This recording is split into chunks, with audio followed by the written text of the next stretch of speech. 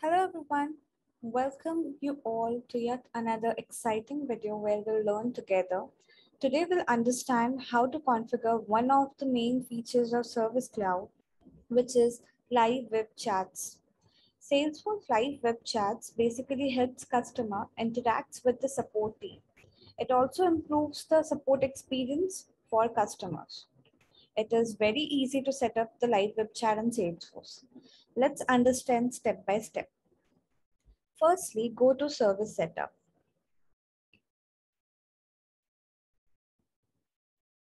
Once you're here, click on view all on the very right of the screen. As you want to set up something related to chat, you'll search something related to chat. So I see chat with customers over here. So just click on that. Once you click on it, you'll see a guided setup. So this is nothing. You just need to follow all the steps. And at the very end, you will uh, configure uh, live web chat in Salesforce. So just click on start. Give a unique name.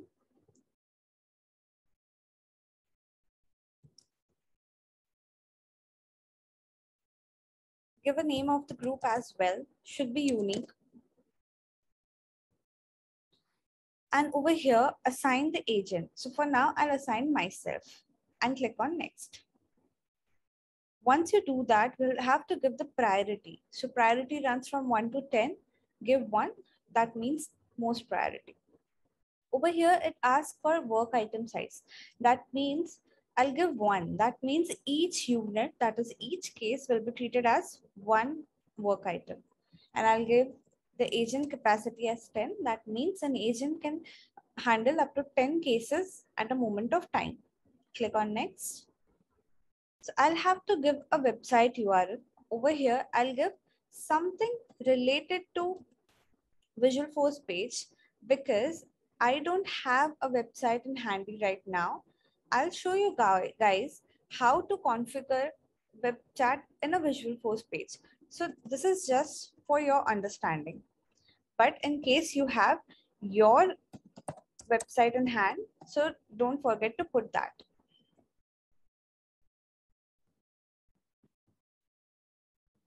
So this works. Click on next. So what's your type? That is service. Click on next. Do you want offline support for now? No. So I'll just click on next. So once I'll be done, I'll be given out a code over here. Don't forget to copy this code and paste it somewhere.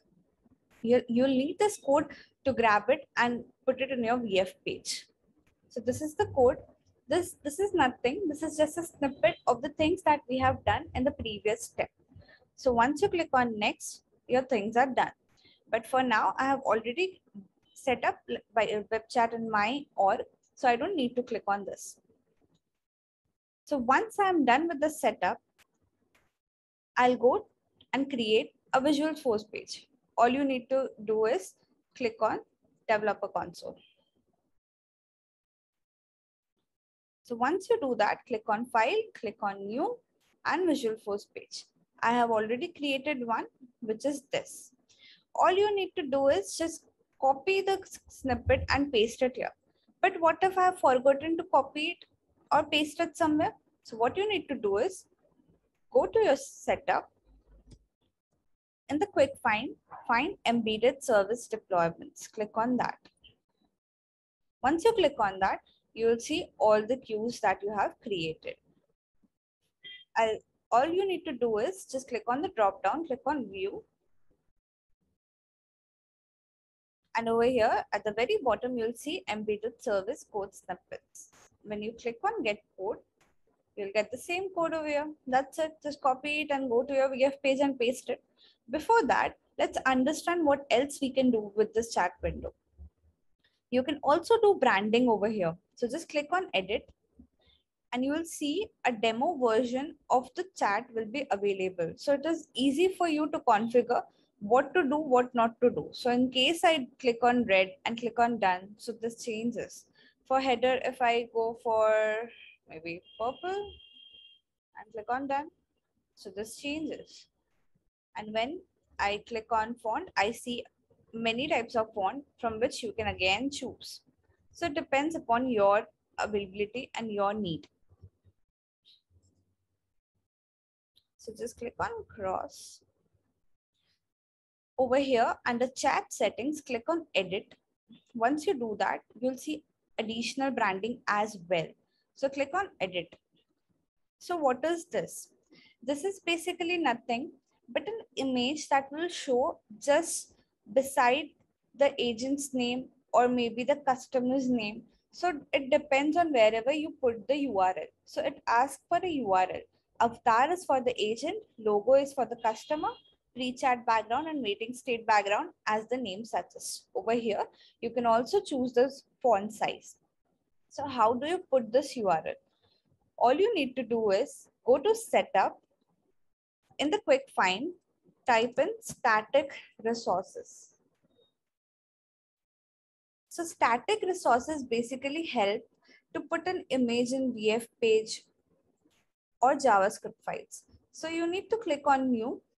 Once you click on new, give the name, choose a file that you want to show and make the cache control as public. So I have already made one agent. So when you make the agent, you need to click on view file. Once you click on it, a URL will be generated. So just click on this, uh, copy this URL, go to your embedded service deployment and paste it here. Do the same for all the three given uh, criteria if you need and click on finish. So this is how you do additional branding. We also have pre-chat page over here. So this basically helps us to have and know more about the customer before the agent accepts the case. So this is a page that will appear before the agent accepts the case. This will this page will appear in the customer side. So just need to toggle it down to make it active. Once you do that, click on edit and click on next and you will see the fields. If you want to add one more field, just click on the plus icon. If you if you don't want this field, then click on the cross icon. If you want to make this field required, then click on this checkbox. This is all you need to do and click on save. So you'll see all the fields that are now in the pre-chat page. Same as the offline support.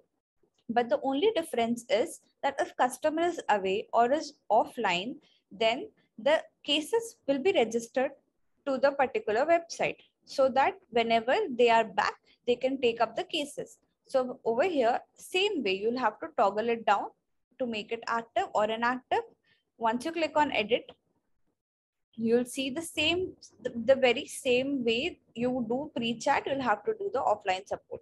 So again, if you click on plus, you can add a field. If you click on cross, you can delete that field. If you want to make this field mandatory or required, click on the checkbox that is and click on finish. Over here also, you'll see all the fields that are available. So let's go to our developer console and save this page. So always make sure if you make any any changes, be it just the branding changes, go to your chats like chat group, refresh the page and go to your get code and copy this code and go to your VF page and paste it over here.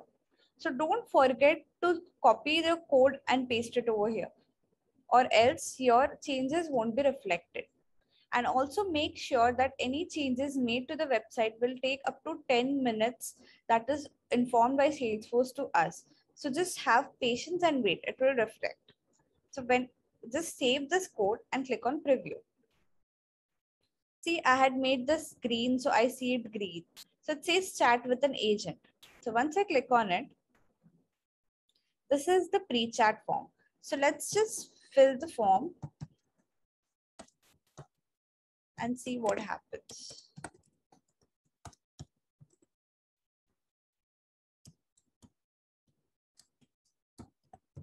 So I've given the information that is required and I'll click on start chatting. It says an agent is on the way. So let's see, let's go to the agent side and see what happens. See over here, there's a case. And if I click on this, I see all the details that was entered by me earlier. So I entered John's pet j at the rate salesforce.com as the email and the salesforce as the company. So this is where pre-chat form helps the agent to know more about the customer. So once I click on this, the work will be transferred to the past work, which is in this tab. And all the conversations can be taken care of from here. So if I click on hi, then over here, see, the agent says hi. And this is what the image I was talking about. This is what additional branding comes in picture. So this is the avatar image for which I had put the URL from the static resources. So if I click on hi, let's go to the agent side and see, see there's hi from John. So agent or the customer, both can end the chat. So if supposedly agent ends the chat, so it says the chat session ended by agent with the time. Also in the customer side, it will say chat ended by the agent. So this is how chat works. Let's also see what if the customer is offline. So do we see an offline support form? Let's just refresh the page once more. And instead of chat with, as, with an agent, you'll see contact us. So click on that and see, you'll be asked to put some information. Let's say my phone is not working and what the URL with an email that they're asking for and click on submit. See the case is submitted. We logged your case. You'll hear back from us soon. So the case is now registered. Let's go to the company side and see whether the case is registered or not. So let's click on cases and let's go to all open cases. See, a case has been registered. My phone is not working. So let's just re-verify the email that we had put. See, so this is the case. So whenever the agent is back online, he can just go to the open cases and he can re-verify all the details and what is the requirement of the customer and think and then can answer back or reach out to the customer whenever, howsoever the agent is available. So this is where offline support forms helps the agent for a better customer enhancement. Hope this was an helpful session for you. Thank you all.